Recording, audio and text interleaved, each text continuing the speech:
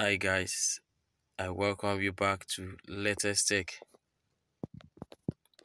In this video, I will use just few minutes to unveil to you how you can hard reset any Gionee device that the password have been forgotten, fingerprints included, pattern, pin, face lock, etc before we kickstart if you are yet to subscribe to this channel latest tech please subscribe.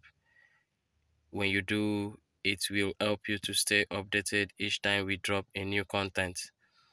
So the next thing you have to do in order to reset any Gionee device is to to power the device off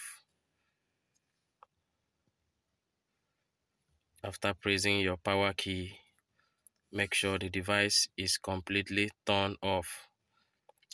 After the device might have completely goes off, the next thing you have to do is to press the volume up key, the volume up key and the power key together for a few seconds. Hold it until you see the recovery menu. When you see the recovery menu, release the two keys at once use your volume down key to navigate to wipe data stroke factory reset.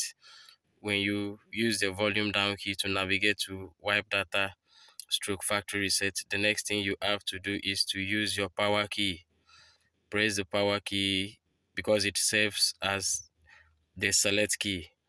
Automatically, the next page will come up and it will ask you restart reset device yes or no. Click on yes and automatically the device will start to hard reset and your Gionee device will be back without a password pin pattern fingerprints face lock etc if you have any question do well to drop it on this comment section.